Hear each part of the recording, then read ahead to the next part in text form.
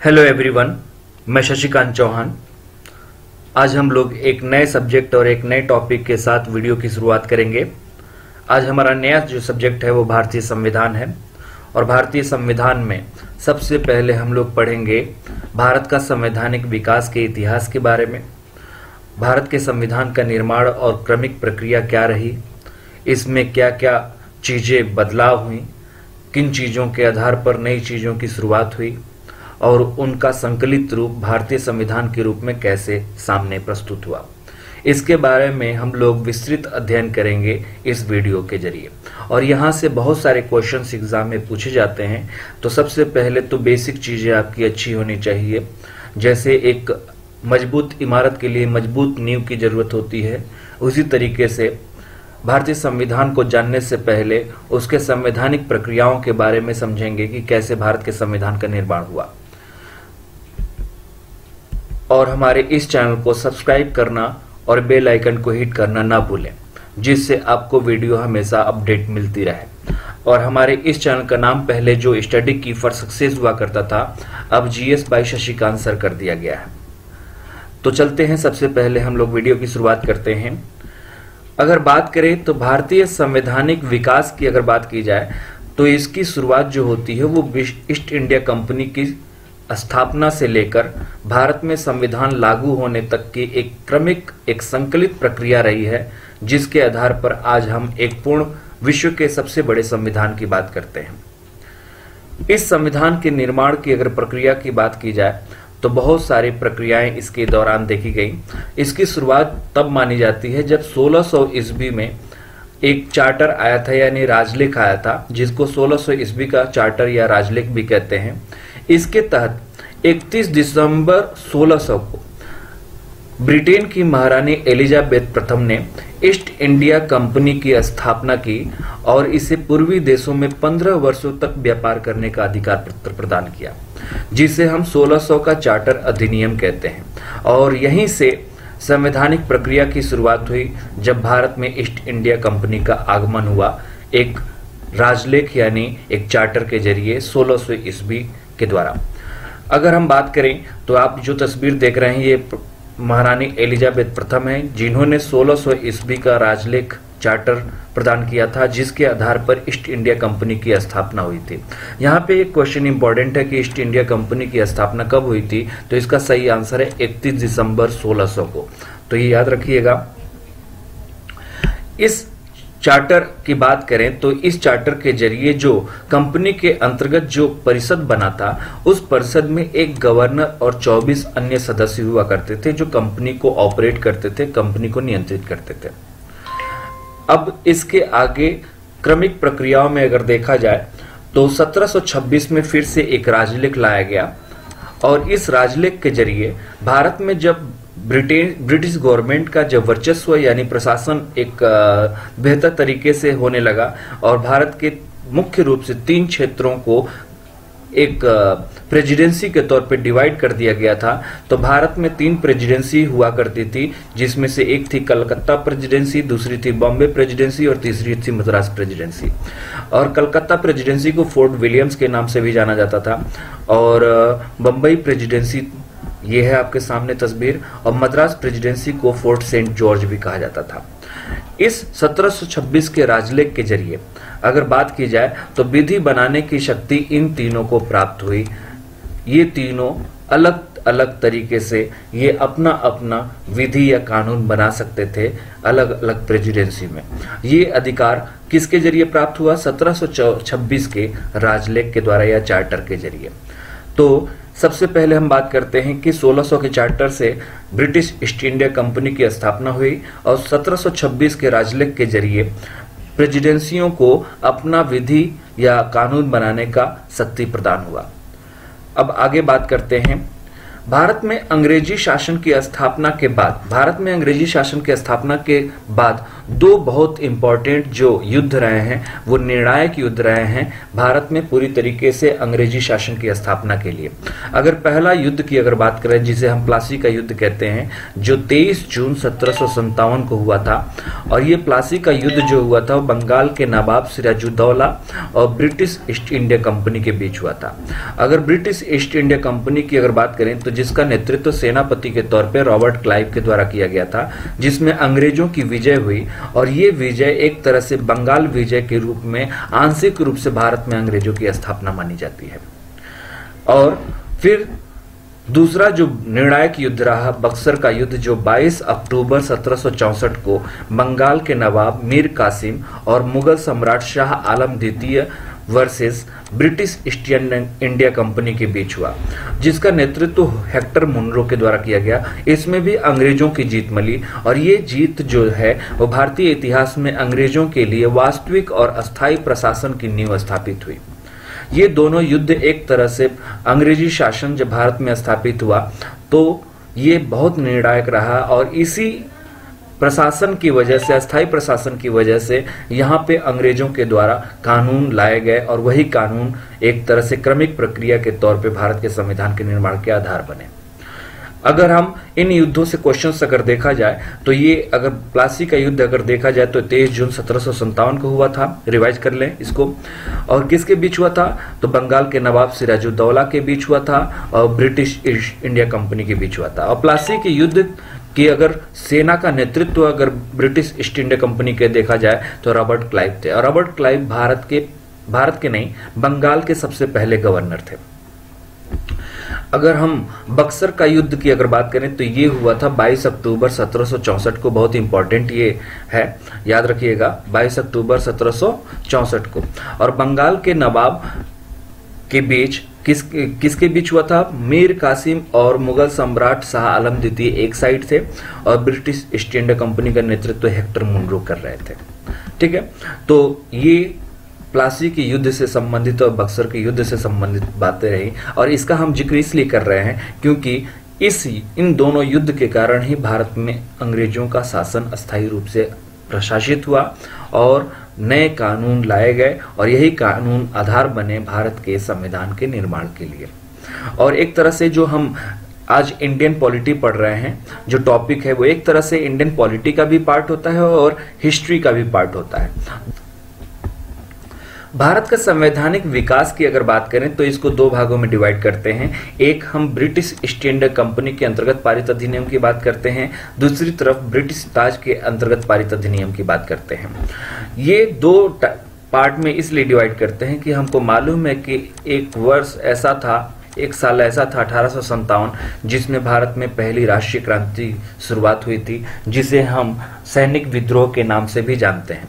अठारह के पहले जो ब्रिटिश ईस्ट इंडिया कंपनी हुआ करती थी, वो सत्रह से लेकर अठारह सौ तिरपन तक जितने भी अधिनियम लाए, वो ब्रिटिश ईस्ट इंडिया कंपनी के द्वारा बनाए गए नियम थे। और अठारह के विद्रोह के बाद ब्रिटिश क्राउन यानी महारानी ने भारत के प्रशासन को अपने हाथ में ले लिया और अठारह से लेकर उन्नीस तक जो भी अधिनियम आए वो ब्रिटिश ताज के अंतर्गत आए। ये याद रखिएगा। और अठारह के पहले जितने भी ब्रिटिश ईस्ट इंडिया कंपनी के अंतर्गत अधिनियम पारित हुए उनमें एक खा, खास बात यह है कि सत्रह से लेकर अठारह तक जो भी अधिनियम आए उनके वर्षों का अंतर अधिनियम के वर्षों का अंतर 20 साल रहा। 20-20 साल के अंतराल पे यह अधिनियम लाए गए, क्योंकि ब्रिटिश ताज के द्वारा इनको 20 साल तक के लिए कानूनी अधिकार प्राप्त होता था भारत में, व्यापारिक अधिकार प्राप्त होता था भारत में व्यापार करने के लिए। एक यहाँ पे ध्यान देने वाली बात है कि सत्रह से लेकर सत्रह के बीच कुछ अधिनियम में संशोधन किए गए जो तीन बार हुए जिसको हम एक्ट ऑफ़ सेटलमेंट 1781 1781 के नाम से भी जानते हैं पिट्स इंडिया एक्ट 1784 के नाम से भी जानते हैं और 1786 का एक्ट भी कहते हैं या अधिनियम भी कहते हैं। अगर हम बात करें तो ये आपको याद रखना होगा 58, 61, 73, 92, 09, फिर 19 1935 तो इस तरीके से ये आपको अलग से याद करने पड़ेंगे। अगर हम बता दें कि इसमें सबसे ज़्यादा इंपॉर्टेंट है अठारह 1909, 1919 और 1935 के जो अधिनियम है बहुत इंपॉर्टेंट है इनको याद रखिएगा। रेगुलेटिंग एक्ट की अगर बात करें तो भारत में ब्रिटिश ईस्ट इंडिया कंपनी के तहत ब्रिटिश ईस्ट इंडिया कंपनी के अंतर्गत पारित अधिनियम में सबसे पहला अधिनियम और बहुत ही इंपॉर्टेंट अधिनियम है रेगुलेटिंग एक्ट 1773 रेगुलेटिंग एक्ट 1773 की अगर बात करें तो ये जो एक्ट आया था, वो समय जो ब्रिटेन ब्रिटेन के प्रधानमंत्री थे, उनका नाम था लॉर्ड नॉर्थ लॉर्ड नॉर्थ ने एक गुप्त समिति बनाई, यानी एक सीक्रेट कमेटी बनाई, और उस सीक्रेट कमेटी के द्वारा ही रेगुलेटिंग एक्ट को लाया गया 1773 में। पहली बार पहली बार भारत के लिए एक लिखित संविधान प्रस्तुत किया गया। तो रेगुलेटिंग एक्ट ये पहला एक्ट था जिसमें पहली बार लिखित संविधान प्रस्तुत किया गया था। और तीसरा पॉइंट ये है कि इस एक्ट के माध्यम से बंगाल के गवर्नर को अंग्रेज़ी क्षेत्र का गवर्नर जनरल बना दिया गया।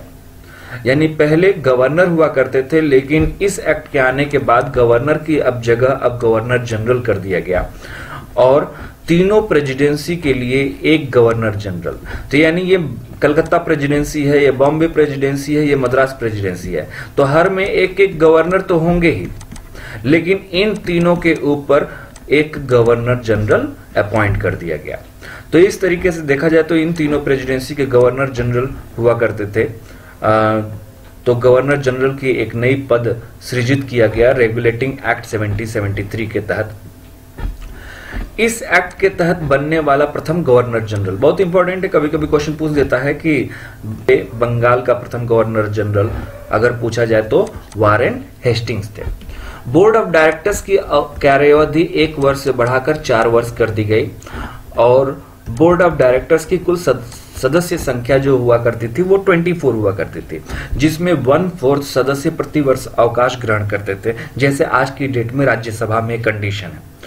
और अगर हम बात करें 24 सदस्य हुआ करते थे और हर साल वन फोर्थ सदस्य अवकाश ग्रहण करते थे तो यानी हर साल छह नए सदस्यों की नियुक्ति होती थी। ठीक है? तो इस तरीके से इनको पॉइंट वाइज देखा जाए तो रेगुलेटिंग एक्ट में खास पॉइंट ये है कि जिस समय रेगुलेटिंग एक्ट आया था तो उस समय ब्रिटेन के प्रधानमंत्री लॉर्ड नार्थ थे और इस रेगुलेटिंग एक्ट के ज़रिए गवर्नर के पोस्ट को गवर्नर जनरल बना दिया गया, जो तीनों प्रेसिडेंसी के गवर्नर जनरल थे। प्रथम गवर्नर जनरल जो थे वारेन हेस्टिंग्स थे और बोर्ड ऑफ़ डायरेक्टर्स के कार्यावधि को एक वर्ष से बढ़ाकर अब कितने वर्ष कर दिया गया? चार वर्ष कर दिया गया। और 24 सदस्यों हुआ करते थे बोर्ड ऑफ़ डायरेक्टर्स में कंपनी के बोर्ड ऑफ़ डायरेक्टर्स में, जिसमें वन फोर्थ की नियुक्ति हर साल होती थी और अवकाश भी ग्रहण करते थे। अगला पॉइंट अगर देखा जाए रेगुलेटिंग एक्ट 1773 की ही बात करें तो शासन की समस्त सैनिक तथा सिविल शक्तियों का गवर्नर जनरल और उसके चार सदस्यीय परिषद को सौंप दिया गया, जिसको हम सुप्रीम काउंसिल ऑफ़ बंगाल भी कहते हैं। और गवर्नर जनरल को बहुमत के लिए निर्णायक मत प्राप्त हुआ। तो सबसे पहले तो बात करें कि जो सैनिक और सिविल शक्तियाँ हैं, वो किसके पास चली गई? गवर्नर जनरल के पास चली गई। और जो जो काउंसिल थी, सुप्रीम काउंसिल ऑफ़ बंगाल था, उसमें गवर्नर जनरल के अलावा कितने सदस्य थे? चार। अब इनके बारे में अगर देखा जाए तो ये गवर्नर जनरल हैं, जो प्रथम गवर्नर जनरल थे वॉरेन हेस्टिंग्स, और इनके साथ जो चार सदस्य थे, ये थे sir Philip Francis, sir John Clavering, George Monson, और फोर्थ थे रिचर्ड बर्वेल। अगर हम बात करें तो केवल इन चार में से केवल एक ऐसा मेंबर था रिचर्ड बर्वेल, जो वारेन हेस्टिंग्स का चहेता था। या वारेन हेस्टिंग्स के बीच संबंध अच्छे थे।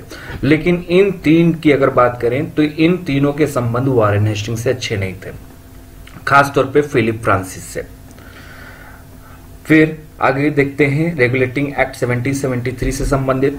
73 के एक्ट के ज़रिए 1774 में, ये ईयर याद रखिएगा 1774 में कलकत्ता में चार सदस्य एक सर्वोच्च न्यायालय की स्थापना की गई, जिसके मुख्य न्यायाधीश एलिजा इम्पे थे। तो याद रखिएगा, ये ईयर भी याद रखिएगा और एलिजा इम्पे अगर एलिजा इम्पे की तस्वीर आप देख सकते हैं, आपके सामने है मुख्य न्यायाधीश के तौर पे, और इनके साथ तीन और न्यायाधीश थे जिनका नाम था जॉन हाइड, रॉबर्ट चेम्बर्स और ले मेस्टर्स।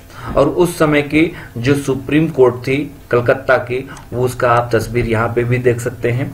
और ये बहुत इंपॉर्टेंट है। यहाँ से बहुत एग्ज़ाम में क्वेश्चन पूछे जाते हैं। क्या इंपॉर्टेंट है कि कलकत्ता की सुप्रीम कोर्ट की स्थापना कब हुई थी? तो इसका सही आंसर है सत्रह में।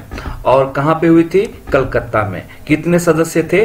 चार सदस्य थे। किस एक्ट के ज़रिए? सत्रह रेगुलेटिंग एक्ट के ज़रिए। और मुख्य न्यायाधीश का नाम क्या था? एलिजा एम्पे तो कभी कभी सदस्य, न्यायाधीशों के बारे में भी नाम पूछ सकता है। तो जॉन हाइड रॉबर्ट चेम्बर्स और लेमेस्टर्स तो याद रखिएगा।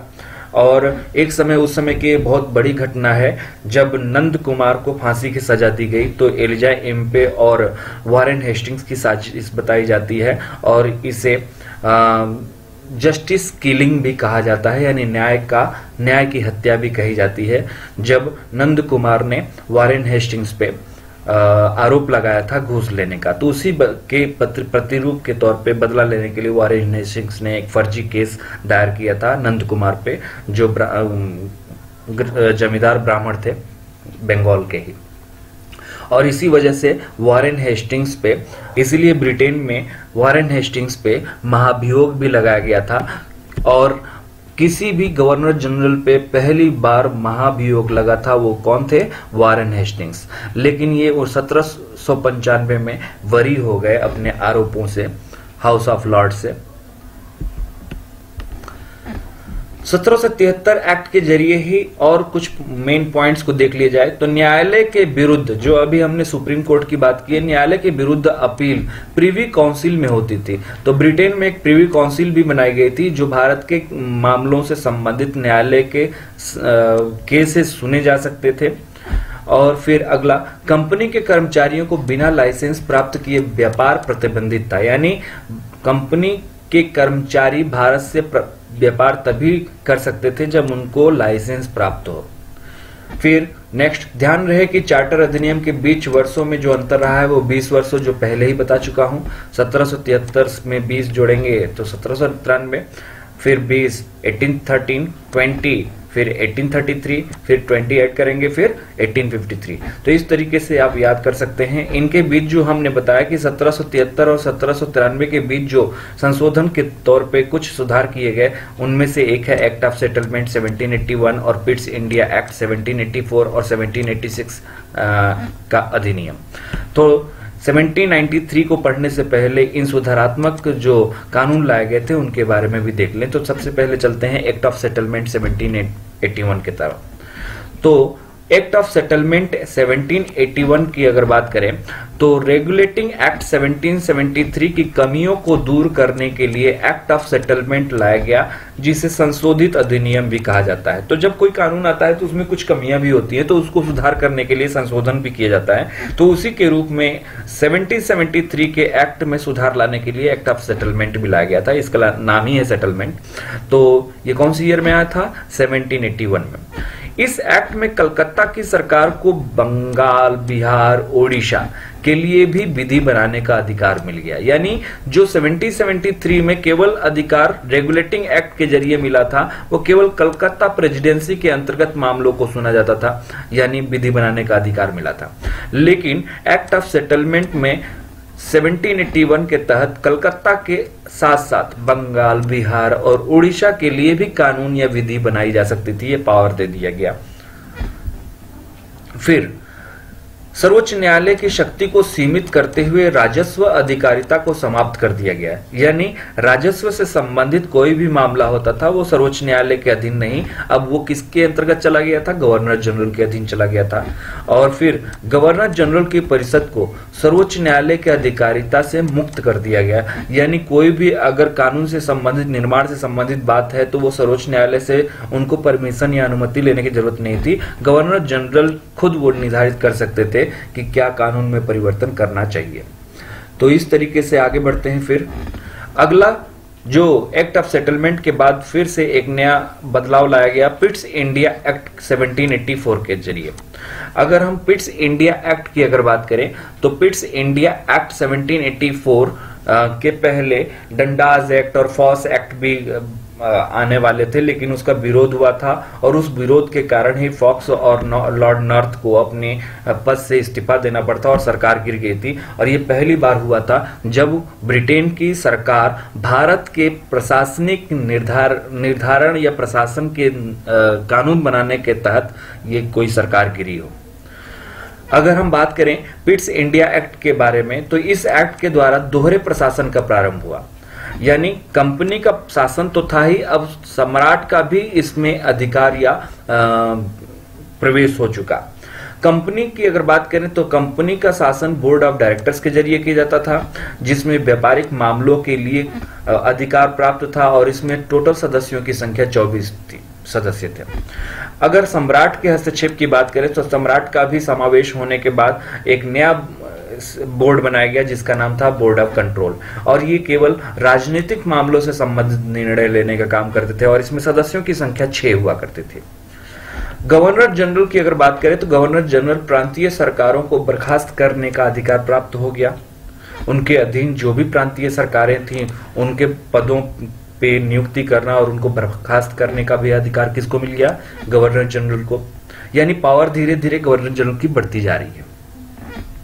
भारत में अंग्रेज़ अधिकारियों के अवैध कार्यों पर मुकदमा चलाने के लिए इंग्लैंड में एक कोर्ट की स्थापना की गई। यानी अगर भारत में निरंकुश अगर अंग्रेज़ अधिकारी हैं या भ्रष्ट अधिकारी हैं तो उनको उनको वो, वो भी तो कानून का उल्लंघन करते होंगे। तो उनके खिलाफ कार्यवाही कहाँ होगी? तो उसके लिए इंग्लैंड में यानी ब्रिटेन में एक कोर्ट की स्थापना की गई जो केवल अंग्रेज़ अधिकारियों के अवैध कार्यों का निरीक्षण कर सकता था और उस पर मुकदमा चलाया जा सकता था।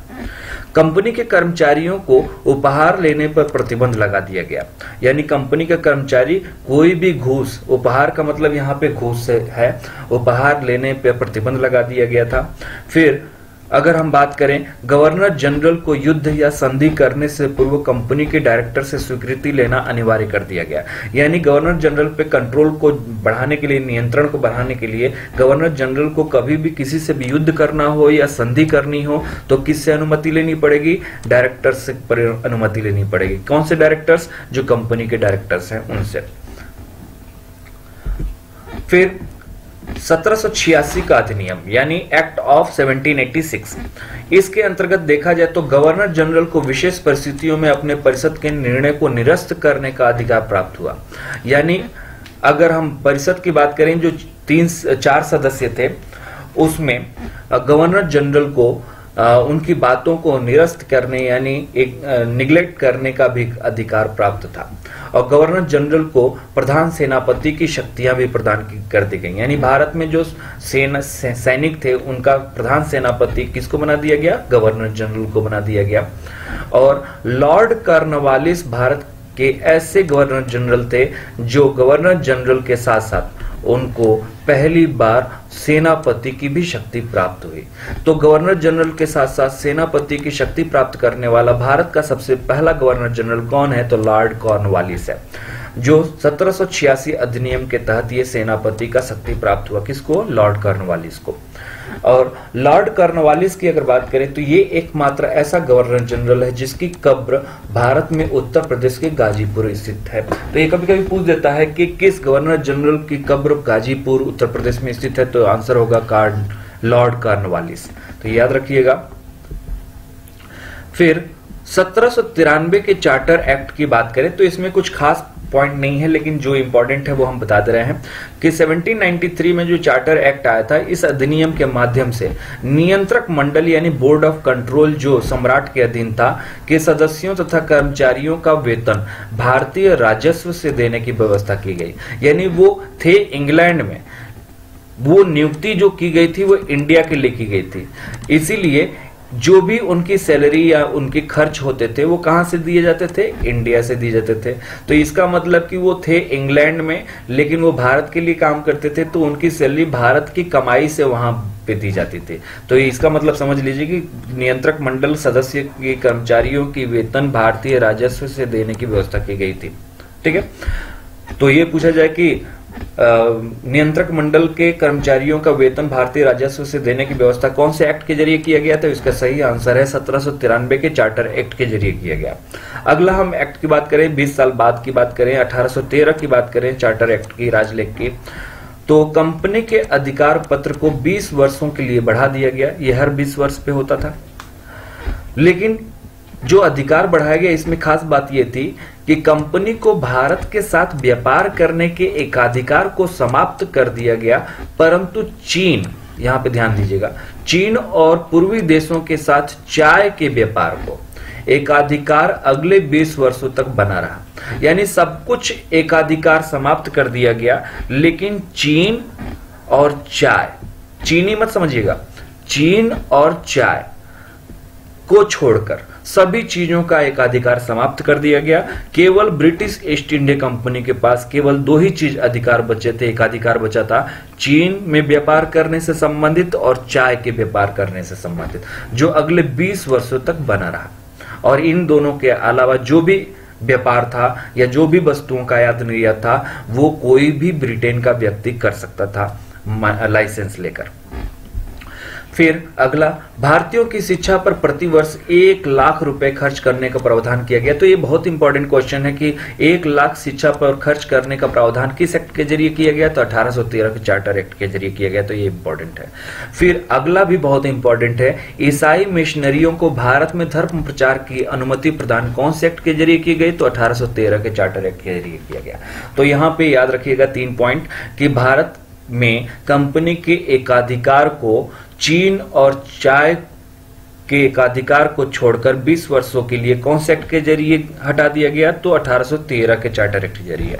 फिर शिक्षा के लिए एक लाख प्रतिवर्ष खर्च करने का प्रावधान कौन से एक्ट के ज़रिए किया गया? 1813 के चार्टर एक्ट के ज़रिए। और ईसाई मशीनरियों को भारत में प्रचार की अनुमति प्रदान की गई कौन से एक्ट के ज़रिए? 1813 के चार्टर एक्ट के ज़रिए। तो याद रखिएगा।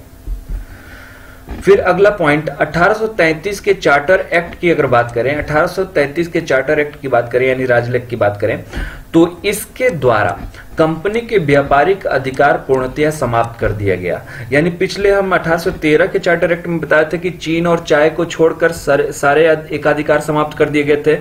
20 वर्षों के लिए। लेकिन यहाँ पे एक पॉइंट याद रखिएगा कि ये पूरी तरीके से यानी चीन और चाय, ये भी अब समाप्त कर दिया गया। यानी यहाँ पे अब चीन और चाय से भी एकाधिकार समाप्त कर दिया गया, यानी पूर्ण रूप से, पूर्णतः समाप्त कर दिया गया। ठीक है? यानी इंग्लैंड का कोई भी नागरिक या कोई भी कंपनी भारत का साथ व्यापार कर सकता था। क्योंकि वहाँ पे औद्योगिक क्रांति हुई थी। औद्योगिक क्रांति की वजह से वहाँ वस्तुओं का निर्माण ज़्यादा होता था। तो भारत एक बड़ा बाज़ार था तो यहाँ पे उन वस्तुओं का खेप लाने के लिए सभी को मान्यता दी गई थी कि सभी भारत के साथ व्यापार कर सकते हैं। केवल ब्रिटिश ईस्ट इंडिया कंपनी के पास ही अधिकार नहीं रहेगा, सबके पास ही अधिकार रहेगा। फिर दूसरा पॉइंट इंपॉर्टेंट है, बंगाल के गवर्नर जनरल को भारत का गवर्नर जनरल बना दिया गया। तो याद रखिएगा कि पहले जो गवर्नर जनरल थे, वो बंगाल के गवर्नर जनरल हुआ करते थे। लेकिन अब जो गवर्नर जनरल बनाए गए 1833 चार्टर एक्ट के ज़रिए, वो अब बंगाल के साथ साथ अब भारत के गवर्नर जनरल कहलाने लगे। और ये सबसे पहला भारत का गवर्नर जनरल कौन रहा? लॉर्ड विलियम बेंटिंग ठीक है? तो बंगाल का सबसे अंतिम governor general Lord William Bentinck और भारत का प्रथम गवर्नर जनरल देखा जाए तो Lord William Bentinck. Governor general को पूरे भारत के लिए कानून बनाने का अधिकार मिला, जिसे अधिनियम कहा जाता था। यानी इसीलिए भारत का भारत का, भारत के लिए कानून बनाने का अधिकार मिला, इसीलिए गवर्नर जनरल किसके हुए? भारत के हुए। जिसे अधिनियम कहा जाता था, परंतु नियंत्रक मंडल के द्वारा इसे अस्वीकृत किया जा सकता था। यानी गवर्नर जनरल पूरे भारत के लिए तो कानून बना सकता था, लेकिन जब ज़रूरत पड़े या अगर लगे कि ये देश के लिए कानून सही नहीं है तो ये नियंत्रक मंडल के द्वारा, यानी बोर्ड ऑफ़ कंट्रोल के द्वारा इसे रिजेक्ट भी किया जा सकता था। फिर बंबई और मद्रास की परिषद को विधि निर्माण की शक्तियों को वापस ले लिया गया यानी सारा जो विधि निर्माण या अधिनियम बनाने की शक्ति किसको दे दी गई? भारत के गवर्नर जनरल को दे दी गई। फिर विधिक परामर्श हेतु गवर्नर जनरल की परिषद में विधि सदस्य के रूप में चौथे सदस्यों को शामिल किया गया। पिट्स इंडिया एक्ट में चार सदस्य के घटा के तीन कर दिया गया। लेकिन इट्स 1833 चार्टर एक्ट में विधि सदस्य के तौर पे तीन प्लस विधि सदस्य तो चार सदस्य हो गए और एक गवर्नर जनरल। ठीक है? तो इस तरीके से विधिक परामर्श हेतु गवर्नर जनरल परिषद में विधि सदस्य के रूप में चौथे सदस्य को शामिल किया गया। फिर गवर्नर जनरल को विधि आयोग गठित करने का प्राधिकार दिया गया और सबसे प्रथम आयोग के अध्यक्ष लॉर्ड मैकाले को बनाया गया। अब गवर्नर जनरल की अगर बात करें तो विधि आयोग गठित करने का अधिकार मिल गया, यानी भारत में परिस्थितियों के अनुसार कैसे या किस प्रकार के कानून होने चाहिए, उसके निर्माण के लिए विधि आयोग का गठन किया गया। और सबसे पहला जो प्रथम विधि आयोग बनाया गया, उसके अध्यक्ष किसे बनाया गया? लॉर्ड मैकाले को बनाया गया। और ये चीज़ याद रखिएगा कि लॉर्ड मैकाले जो बने थे, प्रथम विधि आयोग के सदस्य के तौर पे तो ये क्वेश्चन बहुत पूछा जाता है कि प्रथम विधि आयोग के सदस्य कौन थे? तो लॉर्ड मैकाले थे। और ये विधि आयोग बनाने का अधिकार किसके पास था? गवर्नर जनरल के पास था। भारत में 1843 बहुत इंपॉर्टेंट है। ये हम बात कर रहे हैं 1833 के चार्टर एक्ट की ही बात कर रहे हैं और इसी एक्ट के ज़रिए भारत में 1843 में दास प्रथा को समाप्त कर दिया गया। और ये दास प्रथा जो है, ये पूछा जाता है कि दास प्रथा को समाप्त कब किया गया? तो 1833 43 में सॉरी 43 में यानी 1843 में। लेकिन किस एक्ट के ज़रिए समाप्त किया गया? तो याद रखिएगा 1833 के चार्टर अधिनियम या राजलेख के ज़रिए। ये दो पॉइंट याद रखिएगा, दास प्रथा कब समाप्त किया गया? तो 1843 किस एक्ट के ज़रिए? तो एक्ट ऑफ़ 1833 1833 अधिनियम की धारा 87 बहुत इंपॉर्टेंट है अठारह का अधिनियम जो था, उसमें एक धारा 87 थी, के तहत कंपनी के अधीन पद धारण करने के लिए किसी व्यक्ति को धर्म, जन्म स्थान, मूल वंश, रंग के आधार पर अयोग्य न ठहराए जाने का प्रावधान था। ये नहीं कि आप किसी के जन्म के स्थान पर, धर्म के आधार पर या वंश के आधार पर, रंग के आधार पर आप किसी को अयोग्य ठहराते ये ये एक तरह से कानूनी तौर पे गलत चीज़ थी और इसका प्रावधान अठारह अधिनियम के कौन से सेक्शन में किया गया था? तो धारा 87 में किया गया था। और धारा 87 किस एक्ट के?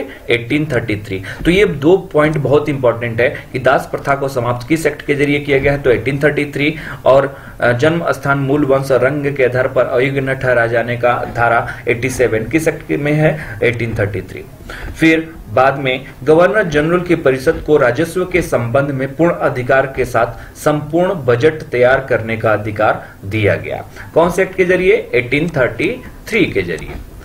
अब जो ब्रिटिश ईस्ट इंडिया कंपनी के अंतर्गत आने वाला जो अंतिम चार्टर था 1853 तो इसके बारे में हम लोग देखेंगे 1853 का चार्टर या राजलेख। इस अधिनियम के द्वारा विधायी कार्यों को प्रशासनिक कार्यों से पृथक करने की व्यवस्था की गई। यानी विधान बनाने की अलग प्रक्रिया, अलग संस्था और प्रशासनिक कार्यों को अलग कर दिया गया। भारत में विधि निर्माण हेतु अलग से 12 सदस्य विधान परिषद की स्थापना की गई। भारत में विधि निर्माण हेतु अलग से 12 सदस्यों की एक विधान परिषद की स्थापना की गई। और विधान परिषद में प्रांतों के प्रतिनिधियों को शामिल कर पहली बार क्षेत्रीय प्रतिनिधित्व का सिद्धांत लागू किया गया। यानी पहली बार ऐसा इस एक्ट के ज़रिए, चार्टर के ज़रिए हुआ, जो आज का जो हमारा विधान परिषद है, वो एक तरह से शुरुआत यहाँ से हुई थी, जिसमें सदस्य कितने थे? बारह थे। और इसमें भारत के अलग अलग क्षेत्रों से प्रतिनिधि चुन चुन के आए थे, जिसके आधार पर हम कह सकते हैं कि यहाँ पे क्षेत्रीय प्रतिनिधित्व का सिद्धांत लागू हुआ।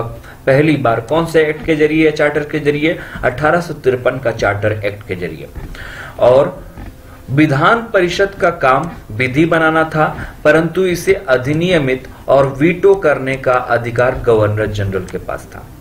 यानी कानून तो विधि विधान परिषद के द्वारा बनाया जा सकता था लेकिन इसको आ, मानना या अधिनियमित करना या ना मानना किसके ऊपर था? Governor general. जैसे आज की डेट में राष्ट्रपति हैं, अगर कोई भी कानून संसद द्वारा पास हो जाता है तो वो लागू किया जाए या न लागू किया जाए, हस्ताक्षर किया जाए, न किया जाए, ये गवर्नर जनरल के पास राइट था, जो ऐसे आज के डेट में राष्ट्रपति के पास है।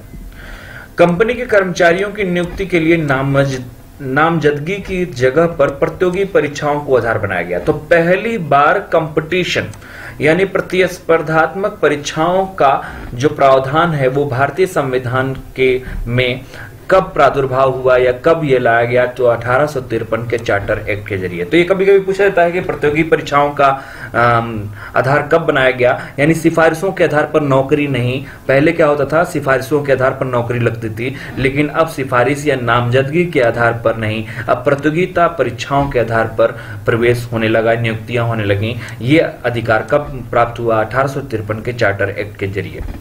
फिर निदेशक मंडल जो बोर्ड ऑफ़ डायरेक्टर्स थे, उनके सदस्यों की संख्या को 24 से कम करके कितनी कर दी गई? 18 कर दी गई। यानी जो शुरू में 1600 में जो चार्टर बना था, उसमें 24 सदस्य थे, लेकिन अठारह में आके 24 सदस्यों की संख्या को घटाकर 18 कर दी गई। फिर नेक्स्ट भारतीय विधि आयोग की रिपोर्ट पर विचार करने के लिए इंग्लैंड में एक विधि आयोग का गठन किया गया। यानी भारत में भी विधि आयोग था और इंग्लैंड में भी एक विधि आयोग पुनरीक्षण के लिए, यानी सुपरवाइज करने के लिए रिव्यू करने के लिए एक विधि आयोग बनाया गया इंग्लैंड में भी। ये सारी चीज़ें किसके अंतर्गत आई? अठारह सौ तिरपन के चार्टर एक्ट के ज़रिए। तो अब तक हम लोगों ने जो ब्रिटिश ईस्ट इंडिया कंपनी के अंतर्गत जो अधिनियम पारित हुए थे और उनसे संबंधित जो भी बातें थी, वो हम लोग पढ़ चुके हैं।